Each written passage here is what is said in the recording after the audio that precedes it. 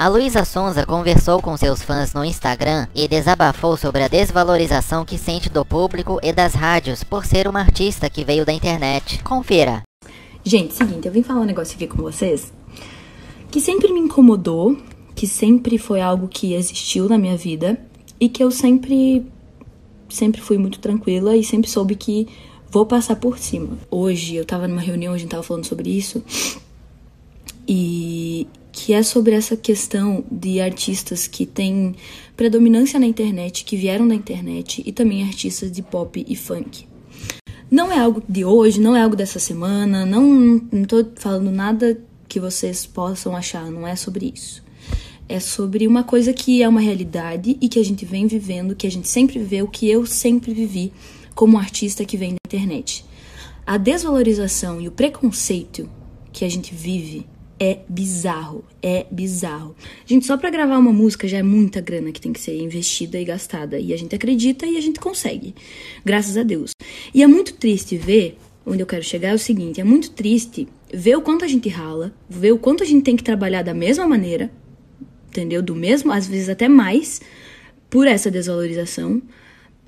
E receber, tipo, uma baita desvalorização de, das pessoas falarem na minha cara várias vezes, sabe? Tipo, isso, pelo menos no meu caso, não me desmotiva, para mim não muda porra nenhuma, sinceramente. E, mas eu sei que para muitos artistas isso muda muito, sabe?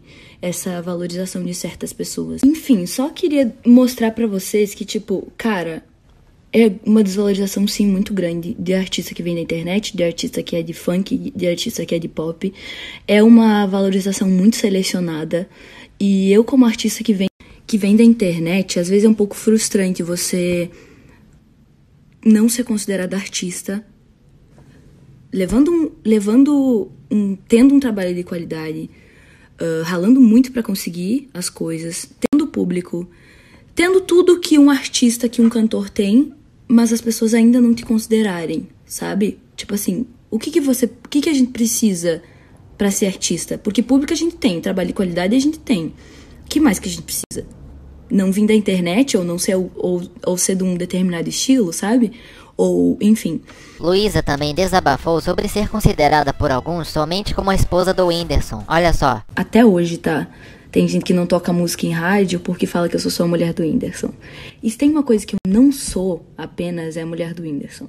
Eu não preciso provar para ninguém isso, nunca precisei, mas eu acabei eu, eu acredito que hoje eu acabei provando isso sem ter a, a necessidade de provar mas continua sendo difícil para as pessoas entenderem nossa importância, nossa relevância, nossa inteligência é difícil. As pessoas acham que a gente, não sei, é, é bizarro, sabe? Como se é um, é um preconceito e, e, e, a gente sabe que o Brasil é tão cheio de preconceito e isso é uma coisinha muito pequena, porque mesmo assim a gente consegue fazer nosso trabalho, mesmo assim a gente consegue atingir vocês, graças à internet que salva a nossa vida, mas único motivo de eu falar isso aqui é só pra. Porque eu quero começar a mostrar mais para vocês a, a, real, sabe?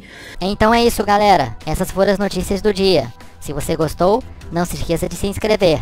E até a próxima!